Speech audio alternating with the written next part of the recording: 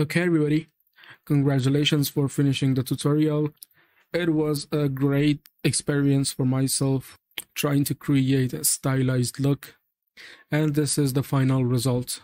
And I hope that you have learned a thing or two just like myself. So it was a great journey. We started with references and started the blockout. So in order to keep that documented from every stage, I took one screenshot. First, we started with this empty scene and then gradually started to bring in the blockout pieces. And we made sure that then the UVs are gonna work fine, refine the UVs, and then we created a plaster material. And you see it looks very awful because the pieces that we started with are mainly flat and no nothing interesting to look at. Okay, then we started to add a bit of interest into the material by vertex blending or adding the functionality to vertex blend and adding a bit of overall dirt to make the buildings really belong to the environment. And then we went ahead, created the tiling stone, and we just kept these for a later usage. Or it was reversed. When we created the stone material, we just saved the individual stones so that we could later on create tiling pieces with them. And then we just textured the stones as well, brought them here, found out that they are two colored, so we changed, and then brought in these pieces. We sculpted in ZBrush and textured in Painter, and these are just kits to only add a bit of silhouette breakup to these buildings. Okay, and then try to add different variations with just a single kit and created another kit as well and just started to finish the scene in this way. We started to add vertex blend and changed some things uh, in the scene and found out that if we just convert this into a white plaster, we're going to get a better result. Okay, and then we made a tiling roof piece with shingles and then went ahead and started to add more and more kits in the scene to complete that.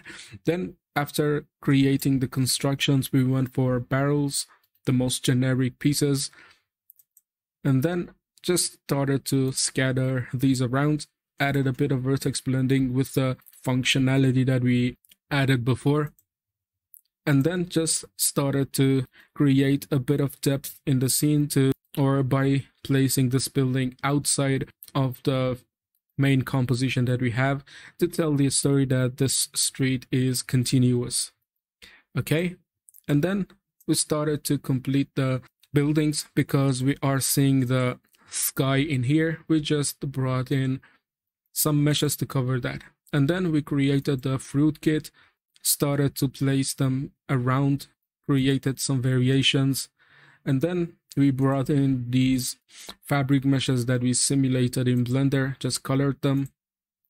And the next step was creating foliage and scattering them around. And then scattering more foliages. And after that, the post process and lighting. And this is the journey we completed to create this scene. And I really enjoyed the process.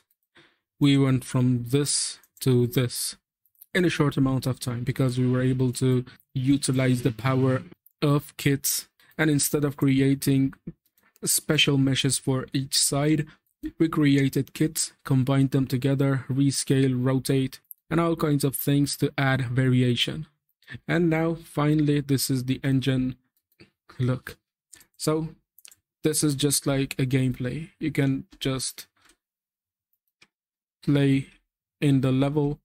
Of course, because we were limited on time, we created a composition camera and just tried to place these based on that composition camera. Of course, you have more time, you can go and try to create a whole city with these. This is the one that we had time to create. And the creation process was actually being able to reuse as much possible as content that we have so that we are not just forced to create everything from scratch. Okay, and this is the final result. And only by lighting and post-processing, we were able to go from something like this, which we started in the lighting chapter, all the way to this. A very stylized, hand-painted look. And because we were limited on time, we just reused the stuff as much as possible. But since you have time, you can go and try to create more stuff and fill the environment with. But since we were limited a bit on time, we used kits, and that was a good practice, trying to save time as much as possible. So one more thing is that we can add a bit of flower to add variation to this scene. So I just created an instance from the foliage color and changed the hue a bit. Very simple color, nothing too complicated. And let's go in here in foliage mode.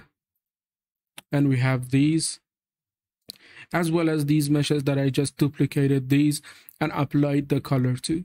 So that's just nothing too complex. I just took these meshes, right click and duplicate to duplicate and apply that material to these. Okay, I'm just taking everything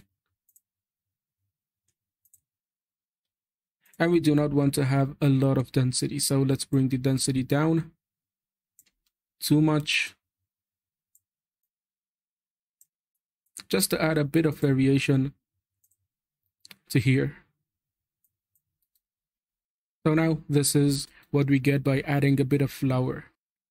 And of course we can go on foliage mode and try to erase some of the results. So let's activate and I'm just removing some of those flowers